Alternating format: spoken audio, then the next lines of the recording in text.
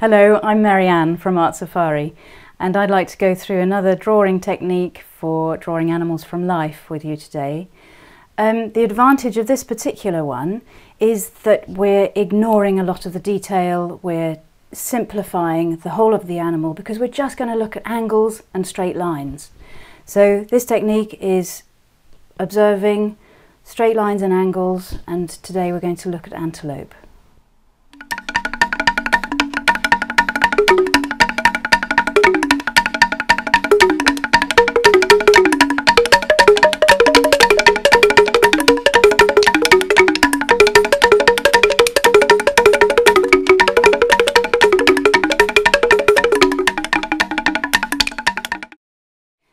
This is the kind of drawing that I expect you to be able to do at the end of this session. It's looking at the angles, it's simplified, and then here's another one where I've filled in all of the detail over the top. What I like to do when I'm looking at a herd of antelope, for example, and here we're, go we're going to look at impala, I like to simplify the lines and simplify the shapes as much as I possibly can. So here I'm going to ignore all those nice curves and just concentrate on the angles of the animal. Might be looking at a straight back, very pointed behind, fairly flat belly, and then bringing the animal up and looking at the various composite shapes which make up that animal. Very quickly you have your animal there. I'm going to do quite a lot of these because we are we've got a herd of them um, some of them might be sitting down. So again, you're looking at straight lines and the various shapes that make up that animal.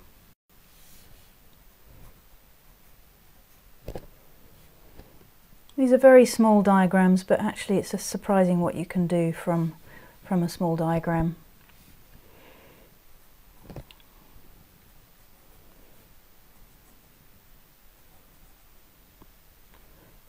Let's give this one some horns.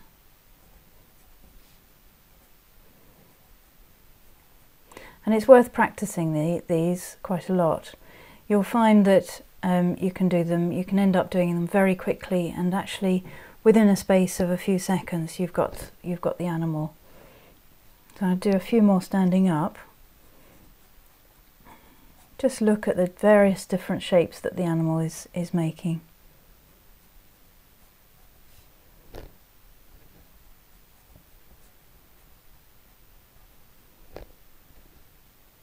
Which way the horn's going to go? Horns might be the exception to the straight line rule.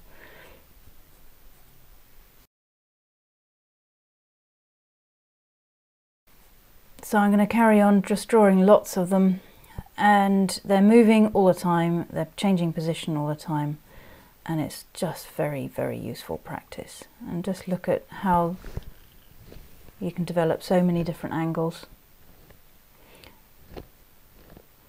And when you get more confident with it, you can start thinking about what those angles are doing when the animal is moving.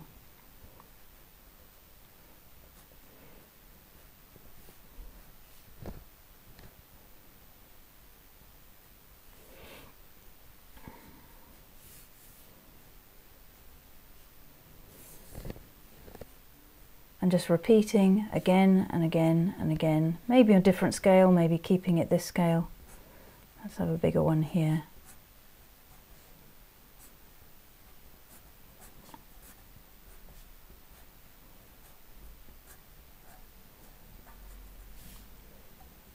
And then eventually you can put the detail in.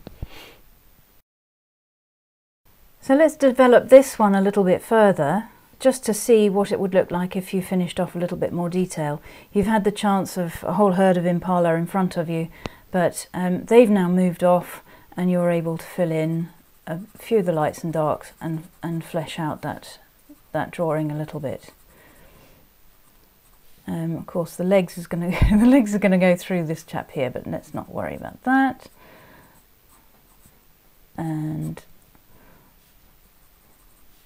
and remember that nice line across the impala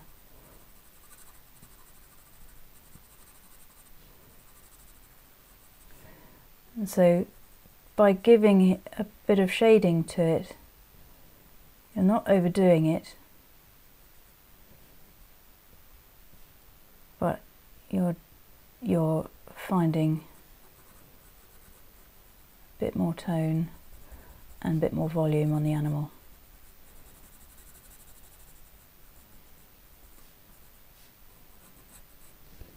There we are. So there I've given you an example about how to draw animals from, from life using the straight lines and the angles to, to start your drawing. Um, it's always great fun drawing from, from life and so use this technique and again and again and again and see whether it's the one that suits you as one of your starting techniques. Um, so go out and practice, find, find animals in a field or go to the zoo or come on safari um, and keep watching the other videos as well because there are lots of different techniques to start drawing. Um, so subscribe to the YouTube video um, channel that we've got, Art, um, Art Safari TV and come to visit our website at www.artsafari.co.uk to join workshops or safaris or just have a look and see what we're doing. Thank you very much.